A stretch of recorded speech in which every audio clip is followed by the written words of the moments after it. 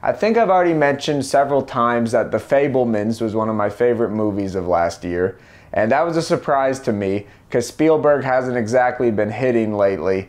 I, I think uh, stuff like Ready Player One, War Horse, Bridge of Spies, it all feels kind of obligatory, like expected.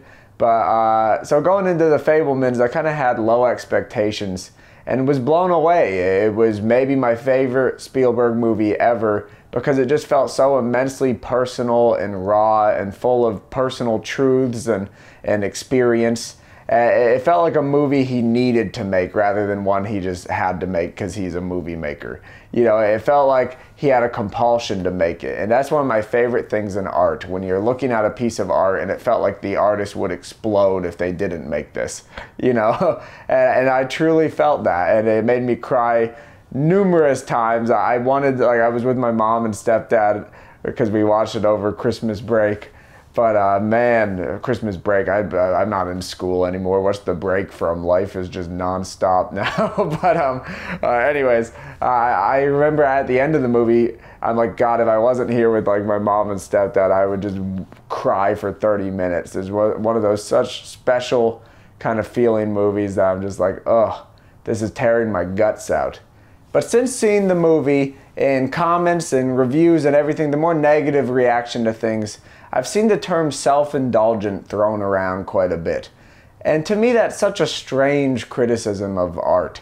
Like, well, what is art other than indulging in yourself? It's indulging in your creativity, and your taste, and your experience, and your emotions, and your life, and sharing that so others can indulge in it too and, and find the universality in the, your own specific and create an artist audience soup and you know, in that artist audience soup is my favorite moments in art, whether it be a comedy and you're just like gelling with somebody's personal sense of humor, or something immensely personal and you're crying because you're like, whatever this person is, the whatever part of their soul this person is sharing with me is communicating to some part of mine, and to, to come away from art Uh, by an artist that's strictly about themselves seems to be when the term self-indulgent comes out the most. When it's literally like in the Fabelman's case it's pretty well an autobiography. I'm sure many liberties are taken but it's pretty well steven spielberg's life. So in the most literal sense he is indulging in himself because it's a one-to-one biopic or whatever you want to call it. But how that is a bad thing is kind of confusing to me. I guess the, the, there could be levels to what people are actually saying. I think they might say there's a lack of self awareness if they felt like, you know, uh, if an artist was indulging in themselves and it came across as like a disconnect with who they actually are or they or something. But I, I feel like the Fabelmans and many of the movies I've seen self indulgent leveled against are very honest and self critical.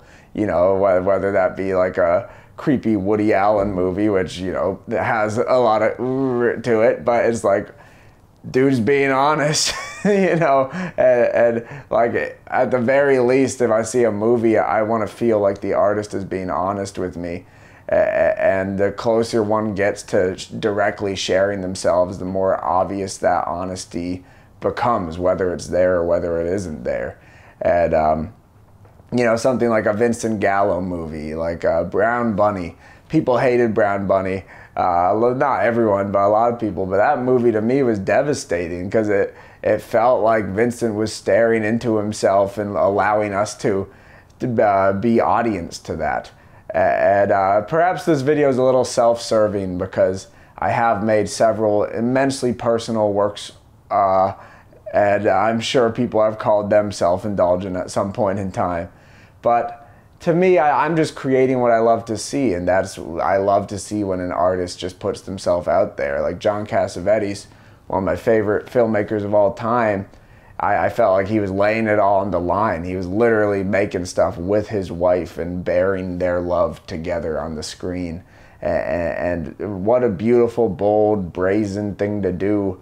And to me, if I came away like, uh, too much of himself in there. I would, I like, I don't get the.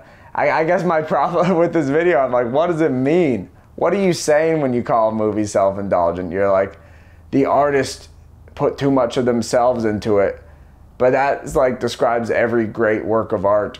You know, it's like the artist poured themselves into it, whether literally or through their their craft or through their their style. The, it's all a, expression of oneself, and the best art, I think, has the artist front and center, whether it's obscured or not. And um, I don't know. I I love movies that are so directly personal.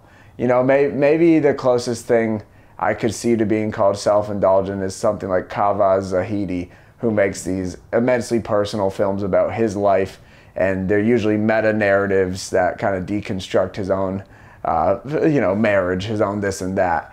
And uh, perhaps the, the art comes before his life and starts to affect his life a little. And I could see that being self indulgent in a way where the indulgence in oneself is affecting oneself in a way that to the audience may be uncomfortable or may make it feel more phony because you realize the art is for the art's sake rather than for the uh, the well-being of the artist's sake, I guess. Um, but even then, I think it makes for interesting art. So I don't know. I, one of my things I always tell people if they're gonna make a film or this or that, if they're curious what to make a movie about, I'm just like make it about you, you, your life. You're an expert on you.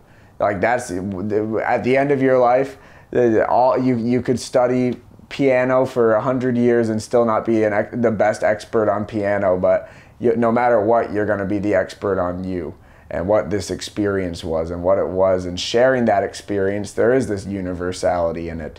You know, it doesn't have to be one to one. Like I watched The Fabelmans and it's like, sure, my my mom didn't have a Sammy that she ran away to. My parents got divorced much younger but I could still relate. I'm not like hitting a wall because the specifics are different. So I'm like the, these feelings, these emotions, these wanting to be somewhere else, this this seeing somebody you love and care about and not knowing how to help them or knowing what they need does not well, the thing that they need will hurt you. That's a hard thing to come come to head with, and uh, the movie communicates that beautifully. and yeah, it's just it was a really special movie to me, and. Uh, I, I hope Spielberg makes something else like that before he croaks, because uh, I really loved it.